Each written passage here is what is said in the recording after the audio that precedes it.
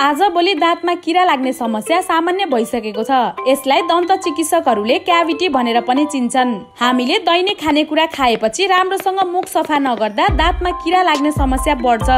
यो समस्या विशेष गरी बच्चाहरूमा बढी देखिन्छ। किनकि बच्चाहरूले मिठाई चकलेट जस्ता चिपचिपा खानेकुराहरू बढी खाने गर्दछन् जसले दाँतमा किरा लाग्नलाई प्रोत्साहित गर्छ। दन्त रोग विशेषज्ञ डाक्टर शेखर कुमार मण्डल बताउँछन् दाँत किराले खाने समस्या बच्चाहरूमा प्राय हुने गर्छ। नियमित दाँतको सरसफाइमा ध्यान नपुर्याए दाँत छिटै बिग्रन सक्छ। बच्चाहरूको दाँतमा आउने समस्या र त्यसको सावधान के हो र कसरी गर्ने भन्ने विषयमा मण्डलले जानकारी दिएका छन्।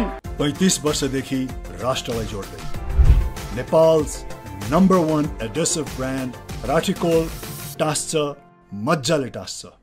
all designed to guarantee the epitome of student development. Parul University, a place where infinite dreams are fulfilled. Dhoni साबुन धुन्छ गजब धुन्छ Digestive biscuit.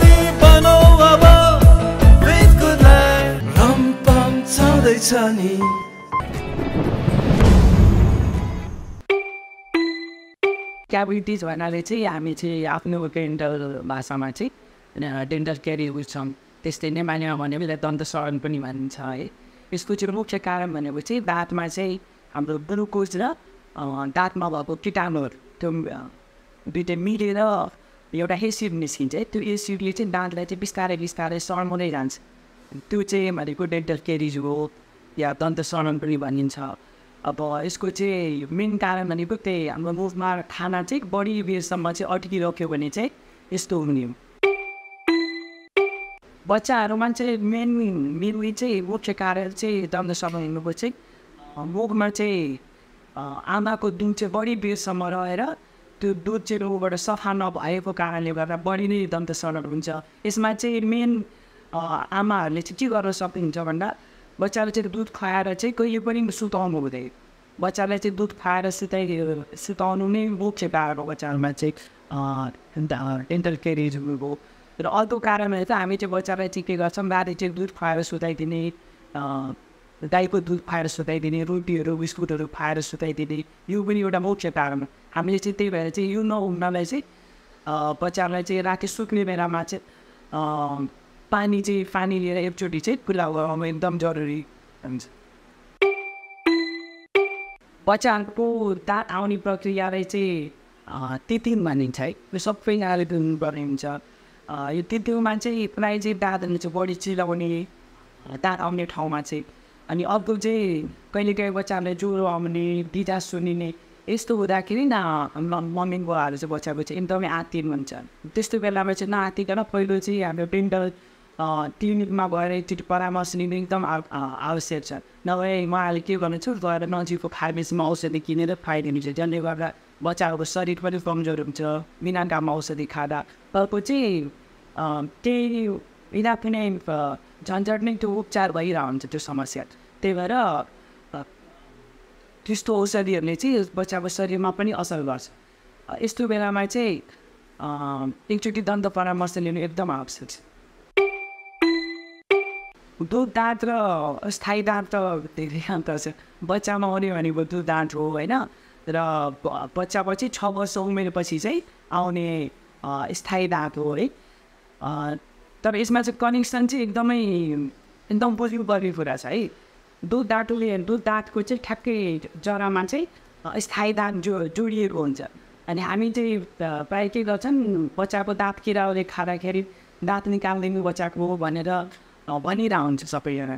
त्यो चाहिँ गर्नु हुँदैन दुधको दाँतले गर्दा समयमै निकाल्दैन त्यो दाँत चाहिँ तपाईँको स्थायी दाँतले चाहिँ बाटो बिराउँछ हो नि त्यो स्थायी दाँतले चाहिँ बाटो बिराएपछि बाहिर निस्किने भित्र निस्किने चान्सेस हुन्छ अर्को भनेको दुधको दाँतले चाहिँ हाम्रो पछिको जुन स्थायी दाँत हुन्छ त्यो दाँतले चाहिँ आउने एउटा ठाउँ दिएर हुन्छ त्यो ठाउँ चाहिँ स्पे जसलाई चाहिँ हामी स्पेस मे मेन्टेन मेन्टेनर भन्छौँ है त्यो नेचुरल स्पेस मेन्टेनर भनेको दुध दुधको दाँत हो यदि कुनै बच्चाको दुध दुधको दाँत समयभन्दा पहिले नै निकाल्यो भने स्थायी दाँतहरू चाहिँ निस्किने ठाउँ पनि हुँदैन र उसले चाहिँ एउटा जुन बाटो पाउँछ दुधको दाँतले दिने त्यो बाटो पनि बिराउँछ र बाङ्गोटी हुने चान्सेस एकदम बढी हुन्छ। र अर्को काम भनेको दुधको दाँतले त हाम्रो मुखको हड्डीलाई चाहिँ एकदम सेपमा ल्याइराख्नु पर्यो। जब ठुलो जब मान्छे हामी बच्चा ठुलो हुँदै जान्छ त्यो बेलासम्म चाहिँ हड्डीको विथ तपाईँको मेन्टेन गरेर राख्ने काम गर्छ। सिमेन्ट भनेको चाहिँ हाम्रो दाँतले चाहिँ बचाउने प्रक्रिया हो। हामी चाहिँ के गर्छौँ दुधको दाँतमा किरा खायो दाँत कामै लाग्दैन। अहिले त काम त मैले भनिहालेँ दुधको दाँतको। यो सिमेन्टले चाहिँ त्यो दाँतलाई चाहिँ समयमै चाहिँ समयमै चाहिँ त्यो सिमेन्टले चाहिँ त्यसलाई भरिएन भने चाहिँ झन् अरू दाँतमा पनि किरा सर्ने चान्सेस हुन्छ। र अर्को भनेको चाहिँ तपाईँको झन् किरा लाग्ने दाँतमा चाहिँ झन् बढी किरा लाग्ने र दाँत समयभन्दा पहिले नै निकाल्नु पर्ने हुन्छ। र हामी भन्छौँ डेन्टल भाषामा जति धेरै ढिलो गऱ्यो त्यति धेरै खर्च पनि हुन्छ। त्यही भएर कि सिमेन्टले भर्यो भनेको सुरुको स्टेजमा भर्ने हो, जसले गर्दा दाँत पनि समयमै ठिक हुन्छ र हाम्रो खर्च पनि जोगाउँछ अब पहिलो चाहिँ हामीले उपाय भनेको चाहिँ मुख चाहिँ सफा राख्ने। सफा राख्ने दिनमा दुईपल्ट ब्रस गर्ने अर्को चाहिँ हरेकचोटि खाना खानुहुन्छ कुल्ला गर्ने। कुल्ला गर्नु एकदम आवश्यक छ। कुल्ला गरिएन भने चाहिँ दाँतमा किरा लाग्ने चान्सेस एकदम आइन्छ र हरेक छ छ महिनामा चाहिँ डेन्टल चेकअप गराउनु पर्ने हुन्छ र डेन्टल चेकअप जहिले पनि Nepal medical council registered dental सर्जनकोमै गएर गराउनु पर्ने हुन्छ नभए फेरि जथाभावी आजकल त पुरानो पुरानो डक्टर हामी गाउँमा त सुन्दै आएका छौँ रजिस्टर नभएका डक्टरहरूसँग देखाउँदा त्यो जुन समस्या आउँछ त्यो झन् जटिल हुँदै जान्छ र हामीलाई थाहा पनि हुँदैन र झन् ठुलो समस्यामा पर्ने चान्सेस हुन्छ। हरेक मम्मी बुबाले चाहिँ ध्यान दिनै पर्ने कुरा भनेको चाहिँ बच्चाले चाहिँ जतिचोटि त्यही खान्छ होइन त्यतिचोटि चाहिँ खुल्ला गर्दै बानी बसाल्नु पर्यो। त्यो एकदमै इम्पोर्टेन्ट हुन्छ। हरेकचोटि चाहिँ खुल्ला गराउने तर दिनमा चाहिँ दुईपल्ट ब्रस गर गराउनै पर्ने बानी सुरुदेखि नै बसाल्नु बसाल्नु पर्ने हुन्छ यही बानीले गर्दा पछि चाहिँ बच्चाको चाहिँ भविष्य पनि एकदमै राम्रो हुने गर्छ दाँतले गर्दा। अ, र यदि अरू थप कुनै समस्या परेमा चाहिँ हाम्रो चाहिँ Roses dental zone and over care clinic Birat बाह्रमा चाहिँ सम्पर्क गर्न सकिनेछ।